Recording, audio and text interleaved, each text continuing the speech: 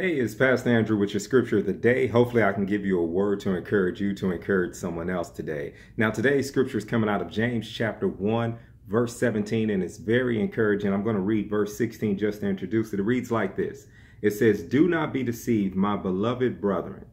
Every good gift and every perfect gift is from above and comes down from the Father of lights, with whom there is no variation or shadow of turning. Now, no variation in shadow of turning just basically means what it sounds like. He is the same God. He does not move. Unlike the stars, the moon, we think those things move, but with God, we know that he is not moving. He's staying put where he's at on the throne. And that's something you can appreciate because when he says that every good and every perfect gift comes from him, he's watching us. He's the beginning and the end. So he knows exactly what to give us. And everything that he gives us is a good and perfect gift. Stay focused in today on those good and perfect gifts as you go forth. Give out that love that he's given you. Give out those the whatever it is that he's given you.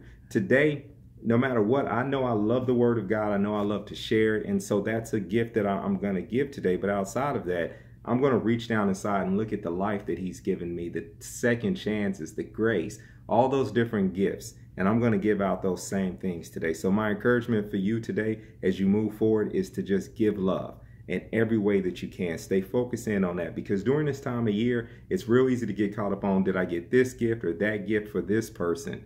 When you have the capacity, regardless of what's in your wallet, you have the capacity to give love today. So make sure that you do that. Make sure that you give love. All right. Remember, hate can't drive out hate. Only love can do that.